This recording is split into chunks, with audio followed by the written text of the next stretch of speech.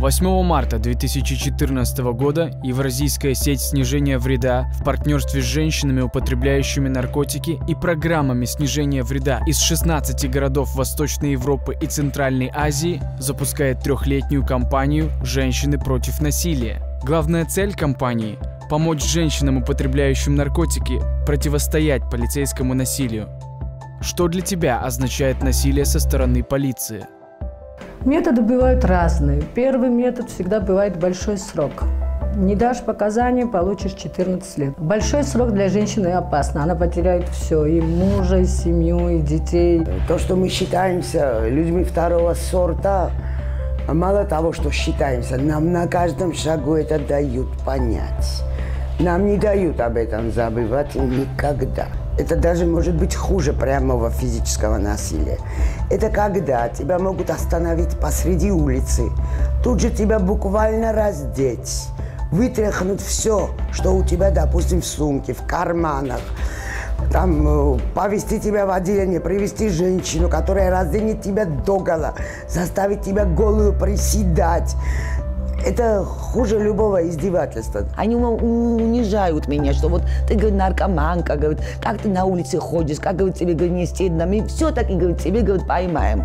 У нас политика с, с наркоманами, ну, даже с бывшими наркоманами, что вот ты била, все, здесь у нас все кончено, ни работа, ничего. В обществе сложилось такое впечатление, особенно у милиционеров, что если э, я наркозависимая, еще если я еще и девушка, то значит я должна быть доступная, и э, надо мной можно как бы всякие всевозможные вещи совершать. Обыскивали э, мужчины, милиционеры, хотя это должны были делать девуш, ну, девушки-милиционеры. Я уверена, что если бы я была бы мужчиной, наркопотребителем, то все бы было иначе. Ну, так как я женщина, мне, конечно, сложнее именно из-за того, что я женщина. В странах Центральной и Восточной Европы и Центральной Азии полицейское насилие над женщинами, употребляющих наркотики, по-прежнему остается широко распространенным явлением. Эта проблема часто скрыта от глаз общества. Женщины, употребляющие наркотики, оказываются беспомощны и беззащитны в руках полиции, которая продолжает оказывать на них давление и подвергать унижению. Задача первого года кампании «Женщин против насилия» – прервать молчание. Мы планируем повысить уровень осведомленности представителей правоохранительных органов и лиц, принимающих решения о случаях полицейского насилия над женщинами, употребляющими наркотики. Это будет достигнуто посредством мобилизации сообществ женщин, употребляющих наркотики, и оказания им поддержки в документировании случаев полицейского насилия.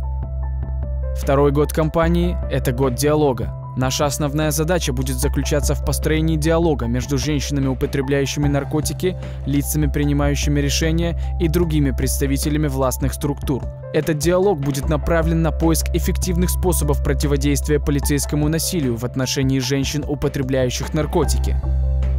Третий год кампании – это год ответственности и контроля – мы сосредоточим внимание на контроле над выполнением обещаний полицейских и других структур власти противодействовать насилию в отношении женщин, употребляющих наркотики. Евразийская сеть снижения вреда призывает членов сети и партнерские организации присоединиться к кампании «Женщины против насилия». Публикуя отчеты о случаях полицейского насилия над женщинами, употребляющими наркотики, мы собираем неопровержимые доказательства о масштабе этой проблемы и аргументы для диалога с людьми, решения которых помогут снизить уровень полицейского насилия. Ваш голос должен быть услышан. Дополнительная информация на сайте www.harm-reduction.org.